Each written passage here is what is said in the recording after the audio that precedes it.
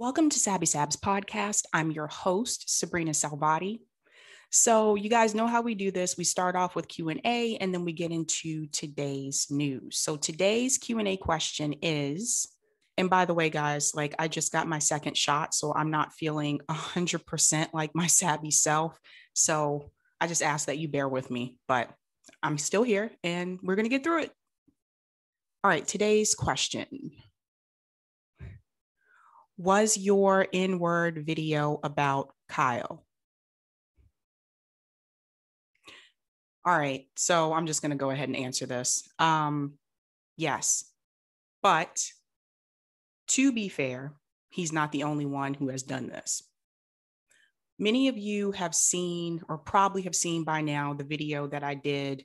I posted it Saturday, I believe, about um, white leftist commentators telling their audience whether or not it's okay to use the N word with an A or ER at the end. And I was really uh, angry in that video because over the past month, I feel like here it is 2021 and I have to explain this to people why this isn't okay. Um, so that side of me that you saw is not usually how I am. But my husband always had a saying that, like, she's really nice until you piss her off. Yeah. So I was very, uh, very, very not happy. Um, yes, it was. Uh, to give you guys a little bit of a backstory, one of my subscribers had sent me that video. Um, it was the Hunter Biden video that Kyle had did.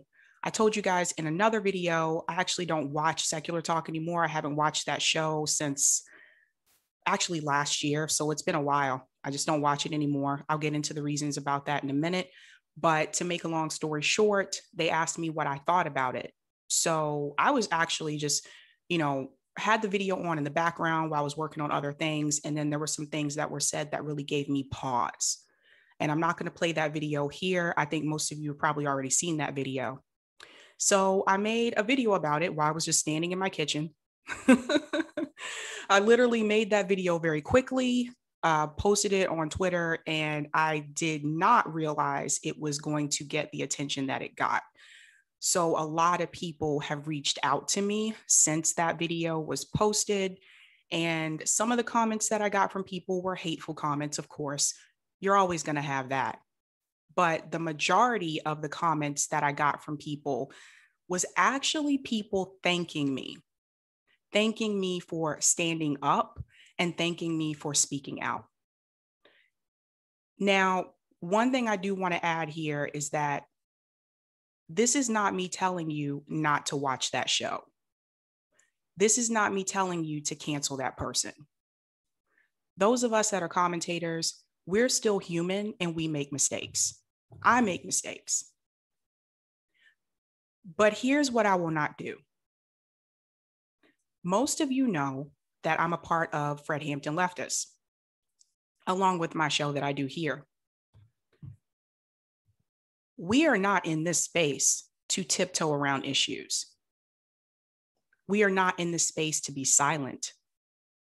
And for a long time, we have noticed that there was a void in leftist commentary. And we are here to fill that void. So we're not going to be silent and quiet about these things. Now, there are some people that will. There are some people in this space, Black people, that will be silent and quiet about these issues, just so they can get along to get along. I am not that way. And when I decided to do this, I said that I was going to be open, honest, and authentic. And I'm not going to tiptoe just so that people like me. If that's what you're looking for, you might as well just watch MSNBC. Now, the reason why I decided to stop watching that show, because for me personally, I was at a point in my life where I was looking for something different. I was looking for something in leftist space that was going to talk about not just leftist issues, but leftist issues that also affected Black people in our community and in the right way. Last year, what I saw was that it seemed like to me, and if you watch my interview with Niko House, I brought this up as well. It seemed like to me that when Black issues came up, defunding the police and reparations, it seemed like the message that was coming across in a lot of leftist indie media was let's not do it because it's not popular. Or let's just, you know, let's push that to the side for now and focus on the issues that affect all of us. You can't do that. And so that's why you have people like me and FHL that are in this space. Because what we're going to tell you and what you're going to hear on here, you're not going to hear this everywhere. We're going to give you our full lived experience because as Black people, our experience is different than our white counterparts. So that's why we're here. And people ask, do I regret doing that video? No, I don't. I got to be true to myself, man.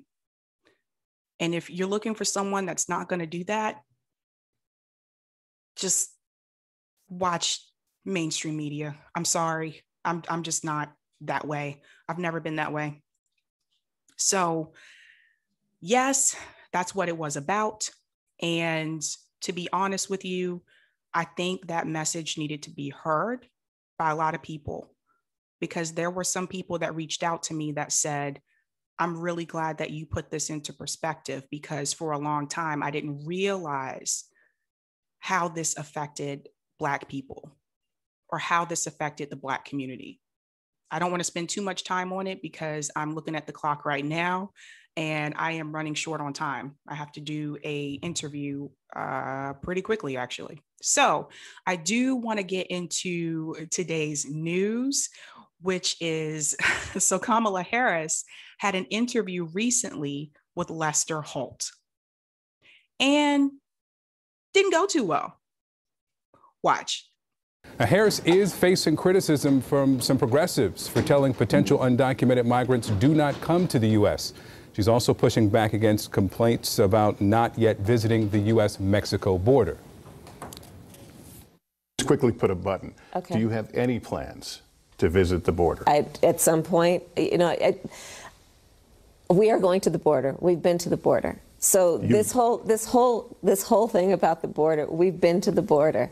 We've been to the border. You haven't been to the border. I, and I haven't been to Europe. And I mean, I don't, I don't understand the point that you're making. I'm not discounting the importance of the border. Well, all right, White House correspondent Jeremy Diamond is live from Mexico City. Jeremy, uh, does it appear that the, the administration, the vice president, is making any progress here? Uh, well, listen, uh, there certainly has been uh, have been a few deliverables so far. Yesterday in Guatemala, we heard the vice president announce this new anti-corruption task force, uh, as well as tens of millions of dollars in new U.S. investments uh, to help develop the economies uh, of the, the Northern Triangle. Today, we saw the vice president meeting with the Mexican president, Lopez Obrador, and they signed a memorandum of understanding outlining how they will help to address the development of Central American countries. And, and what's interesting interesting here is there is this increasing alignment between the U.S. and Mexico on that front, given the fact that Mexico, which has long been a transit country for migrants from Central America to the United States, now also increasingly becoming a destination country. And so, therefore, Mexico and the U.S. much more aligned in terms of helping with development. In fact, the Mexican government has made calls for increasing development uh, in uh, Mexico. Now, uh, you were also talking about the politics there, and the politics are hard to avoid when you're talking about immigration, whether you're doing so in Washington or thousands of miles away in Guatemala City or here in Mexico City. Uh, and that is because uh, you heard the vice president urging migrants not to come to the U.S. She took flack from the far left of the party, uh, with uh, Congresswoman Ocasio Cortez hitting her on that.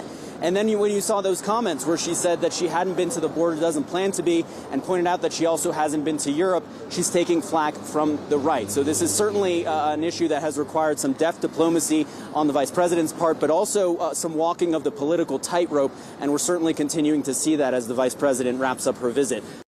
Yikes. so I don't know who's prepping Kamala for her interviews, but it was clear to me she was not prepared for this interview. For Kamala to say, well, no, I also haven't been to Europe. God, are you kidding me? This is your response? It's like, what? oh my gosh, man, she was so not prepared, so not prepared for that interview. And she is getting criticism from the Biden administration and she's getting criticism from the right. So, from both sides. And I don't know about you guys, but that just doesn't look good. Now, one of the things I noticed too, right after that interview, when they were talking to the correspondent, this was really interesting notice how he talked about the politics in Mexico. He wanted to fo- wanted to focus on that. And then he went into the fact that Kamala had mentioned recently that she told migrants not to come here. Now, that is very important because for those of you that watched the town halls during the Democratic primaries, Kamala Harris, during her town hall, the message that she delivered about immigration when Trump was saying the same thing, Trump said, do not come here. And now she's saying that too. During her town hall, she actually said the opposite. During her town hall, Kamala Harris said, Well, first we need to ask ourselves, why are they coming here? See, I remember this like it was yesterday. I remember this so well. First, we have to ask ourselves, why are they coming here? They're coming here because they're fleeing like terror, like in their countries, which the US is responsible for. That is why they're coming here. She then went on to say that they should be able to come here and seek asylum. And now the message that she is delivering is don't come here. So at this point, Kamala is doing the same thing that Trump did. What happened to they should be able to come here and seek asylum? What happened to that? Boy, that really changed, right? This is why I tell people the Biden administration, they're not that different from Trump. And I debated people about this like last year before the primaries happened. I tried to tell people back then, I was like, mm, Biden's not that different from Trump. And people got really angry with me, man. Got debates with people on Facebook about this. And people were like, how could you say they're the same? And I pull up a list of like the things that they've done, like their economic policies. Not to mention, Joe Biden is continuing Trump's policies. He's continuing the wealth tax. He's adding on to Trump's border wall. And now you have someone like Kamala Harris out there saying, don't come here. And she also just told everybody, well, no, I haven't been there, but I also haven't been to Europe.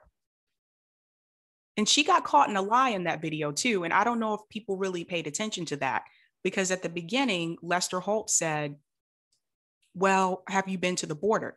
And she said, Look, We've been to the border. We, which means also her. But then Lester Holt said, But you have not been to the border. And then she said, Well, no, but I also haven't been to Europe. So she lied when she said, We have been, because she hadn't. You guys got to pay attention to stuff like this. I don't know. I just, I, I, I don't know. My mom always said like I should be a private investigator if I wasn't doing what I'm doing because I'm just nosy. and I noticed these kinds of things, but she definitely did not do a good job with this interview, you guys. Like, this is just giving the right more ammo, definitely to come down on the Biden administration. And the Biden administration was not happy with her interview. So, I again, I don't know who is coaching her for her interviews, but that was not good because it made her look like she didn't have a plan. It made her look like she was unprepared. And it also made her look a little silly to say, well, I also haven't been to Europe. That didn't make any sense. I'm just like, what does one have to do with the other? Who comes up with this stuff, man? You had to know, like, she had to have known after that interview that that was a bad interview. She had to have known.